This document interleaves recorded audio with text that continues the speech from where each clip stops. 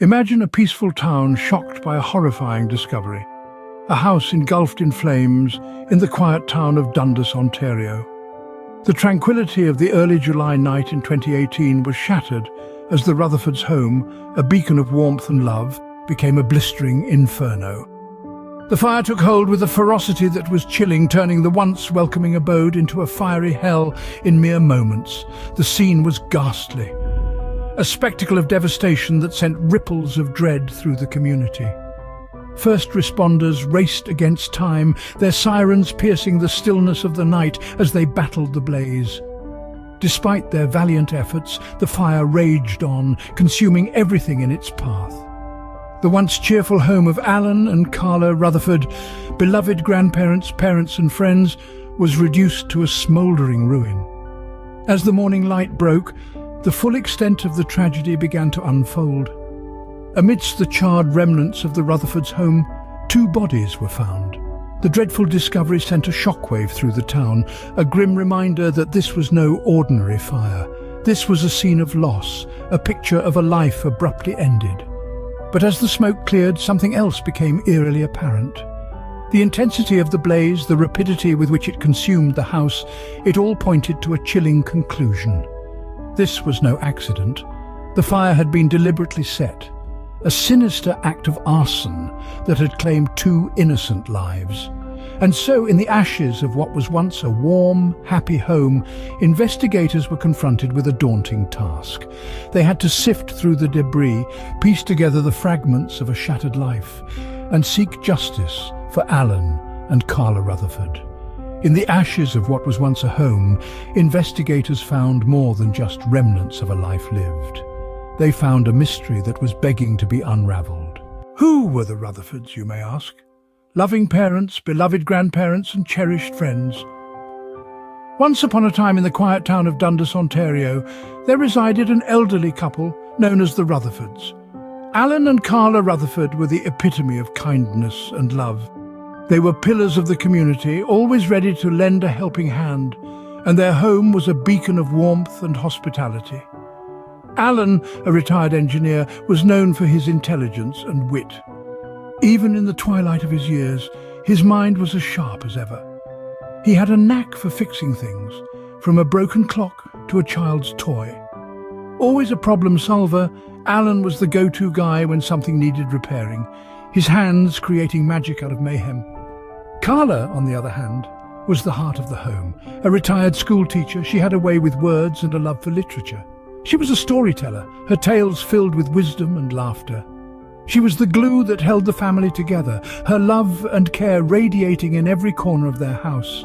Together, they were the perfect pair, their love story spanning more than five decades.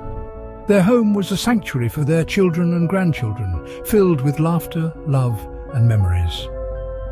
They were the kind of people who would invite you in for a cup of tea, listen to your stories, and make you feel like you were part of the family. The news of their tragic demise in a house fire sent shockwaves through the community. Their sudden departure left a void in the hearts of those who knew them. It was incomprehensible to think that someone could have wished harm upon such kind and loving souls. Their house, once a symbol of warmth and hospitality, was now a charred reminder of a dreadful night that claimed the lives of Dundas's beloved couple. The intensity of the blaze was a grim testament to the malicious intent behind it, leaving investigators with little doubt that this was no accident. The question that haunted everyone was who could possibly have wished harm on the Rutherfords? As the embers cooled, a meticulous investigation started, an investigation that would soon reveal this was no accident. The once vibrant residence of the Rutherfords was now a charred skeleton, a haunting echo of the life that once thrived within its walls. Amidst the rubble and ash, investigators began their challenging task, sifting through the remnants of a life abruptly ended. The initial observations were unsettling. The intensity of the blaze, the speed at which it had consumed the house, all hinted at a sinister origin. This was no ordinary house fire. The evidence painted a chilling picture of a fire intentionally ignited, a blaze designed to obliterate everything and everyone within its path. The investigators' suspicions were soon confirmed. The fire patterns, the burn trails, the presence of accelerants, every piece of evidence uncovered pointed towards a calculated act of arson. Someone had intended to turn the Rutherfords' haven into their inferno. But who? And more importantly, why? The answer to those questions lay in the heart-wrenching, dying declarations of Alan Rutherford. As death drew near, Alan found the strength to utter a few crucial words, words that would serve as the first and most pivotal lead in this grim investigation. This wasn't a nameless, faceless perpetrator. This was someone Alan knew, someone he had trusted. In his final moments, Alan pointed the finger directly at the one who had lit a match in his bedroom. The identity of this person, however, was a revelation that would send shockwaves through the quiet town of Dundas, casting a dark shadow over a community that had believed itself safe. The fire had not been an accident. The lives of Alan and Carla Rutherford had not been claimed by chance, but by a deliberate and merciless act of violence. As the reality of the situation began to sink in, the investigators steeled themselves for the task ahead. They were not just dealing with an arson case, they were on the trail of a murderer. In his final moments, Alan pointed the finger directly at the one who had lit a match in his bedroom. With a lead in hand, detectives were set on a path, a path that led to a prime suspect. The prime suspect, an individual who was no stranger to the Rutherfords. This person wasn't a random burglar or a faceless menace lurking in the shadows. No, the suspect was someone familiar, someone who had shared laughs, meals and memories with the victims. The suspect's relationship with the Rutherfords was one that was supposed to be built on trust, a trust that was shattered on that fateful night in July. The motive? It was not immediately clear. The Rutherfords were loved by many, they had no known enemies. So what could have driven someone so close to them to commit such an unthinkable act? Was it a simmering resentment, a secret grudge, or perhaps something even more sinister? The answer to these questions was as elusive as the embers that still smouldered in the ruins of the house. The evidence, however, was compelling. The dying declarations of Al Rutherford had pointed the finger directly at the suspect. The forensics, too, were revealing. The fire had started in the bedroom just as Al had said. The flames had spread with an intensity that suggested an accelerant was used, a fact that further implicated the suspect. Yet the suspect maintained innocence, claiming to have been elsewhere when the fire broke out. But the detectives were skeptical. Alibi or not, the evidence was mounting, and it was hard to ignore the glaring inconsistencies in their story. The suspect was in the spotlight, but the investigation was far from over. The detectives knew that they had to dig deeper, to peel back the layers of deception and uncover the truth.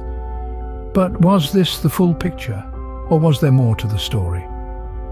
The answer to this question would only come with time, patience, and relentless pursuit of justice. Until then, the prime suspect remained just that, a suspect. Every mystery has a resolution, and this one was no different. It took a while, but the pieces of the puzzle finally fell into place.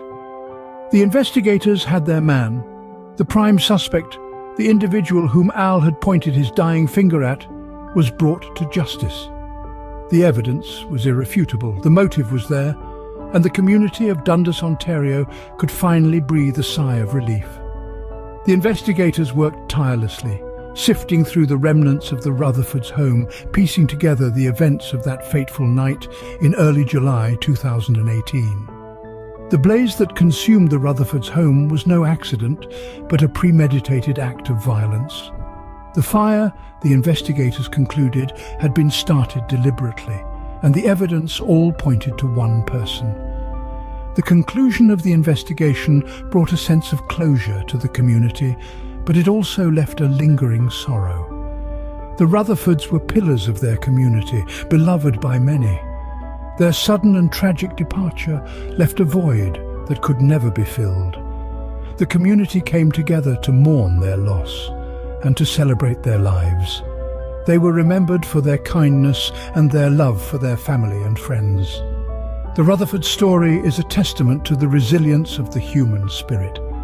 Despite the tragedy, their legacy lives on in the hearts and minds of those who knew them. They were loving parents, caring grandparents and loyal friends. Their memory is a beacon of light in the darkness, a symbol of love and kindness in a world that can sometimes seem cruel and unforgiving. This case also serves as a stark reminder of the darkness that can lurk behind the most ordinary of facades. It's a chilling testament to the fact that sometimes the greatest mysteries are not found in the pages of a novel or on the silver screen, but in the heart of a small town, behind the closed doors of a seemingly ordinary home.